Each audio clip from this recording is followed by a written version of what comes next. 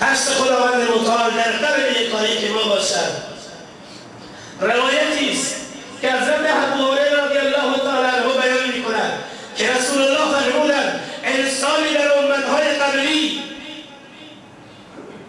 در امتهای قبلی گناه کرده بود.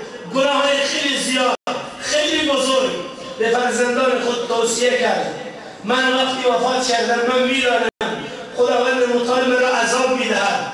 مرا مغفرت نمی کند هر گناهی بگی هر لیستی از گناه شما بیاری من را مرتکب شدم انجام دادم اما زمانی من وفات کردم شما جنازه من را بسوزانید خاکستر او را جمع بکنید در هوا پخش بکنید منتشر بکنید در دریا بریزید که ذرات بدن من گم بشوند شاید که الله جلال از من بپرسند که چرا شما دستور دادی جنازه را بسوزند خاکستر بکنند در هوا منتشر بکنند در دریا منتشر بکنند خدا از من در دنیا منتشر بشن در هوا منتشر بشن در دریا منتشر بشن خدا نوز الله قدرت نداره این ذرات رو جمع کنه عقیده تو چه بود؟ نیت تو چی بوده؟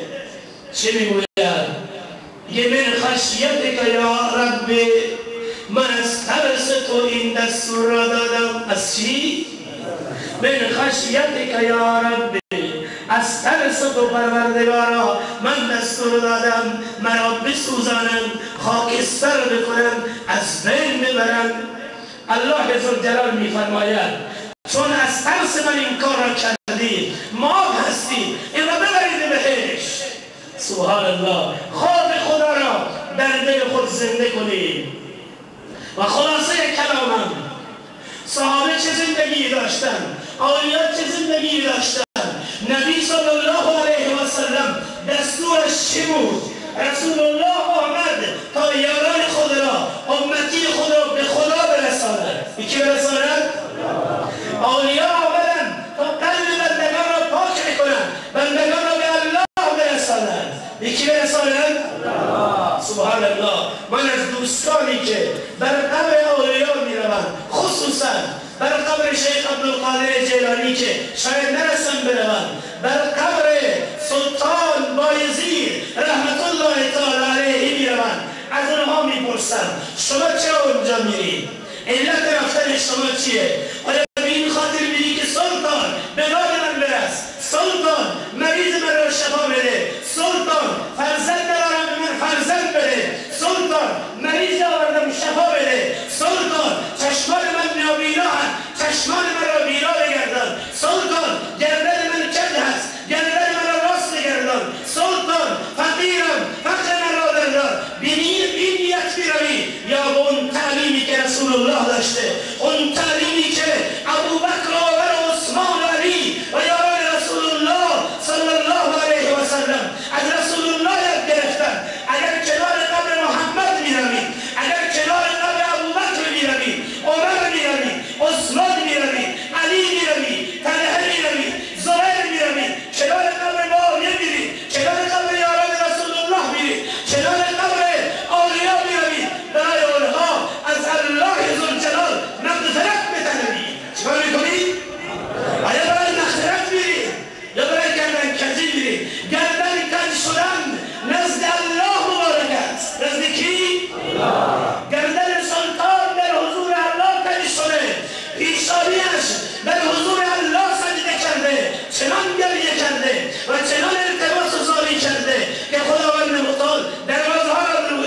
شده کرده. اون آمدن روی زمین رسالت آریایی بوده که ما به خدا برسیم به کی برسیم؟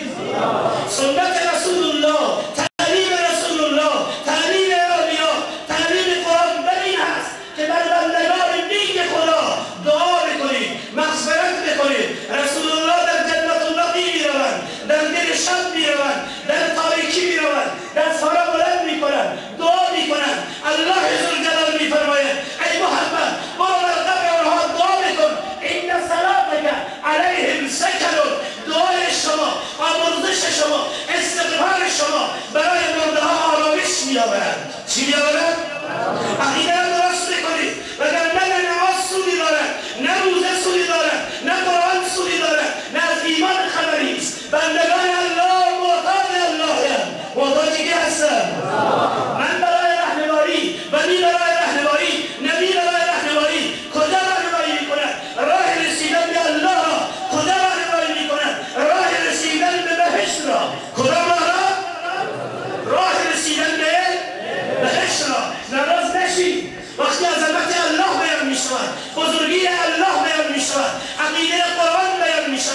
عقیده محمد برای میشود عقیده ابوبکر برای میشود